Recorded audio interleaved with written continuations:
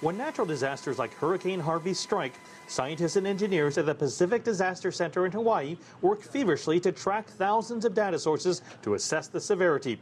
Executive Director Ray Shirkhodai says in the case of Harvey, some of the damage could have been prevented.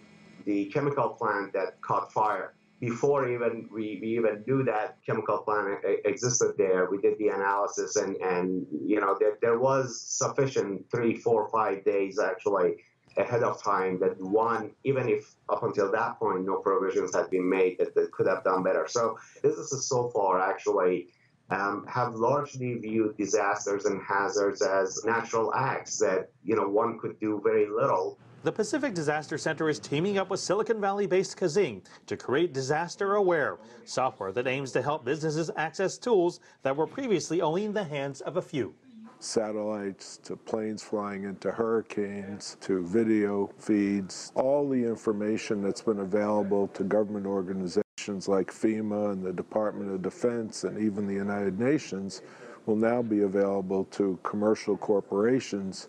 Chief Experience Officer Benoit Marchant shows me how it works by tracking a business's assets. In this case, Five Guys restaurant during Hurricane Irma.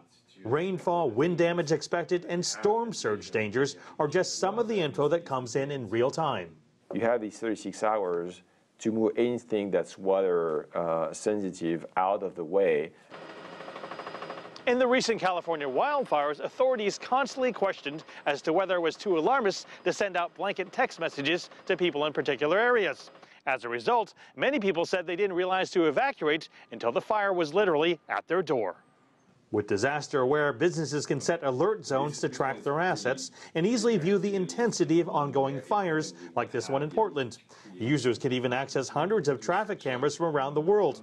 And in today's society, these bright spots are of utmost importance. Social media flare-ups. Especially things that are man-made, like terrorist attacks the thing that shows the incident the earliest is a, a, Twitter flare. And we can expose on a geospatial map where there's a sudden increase.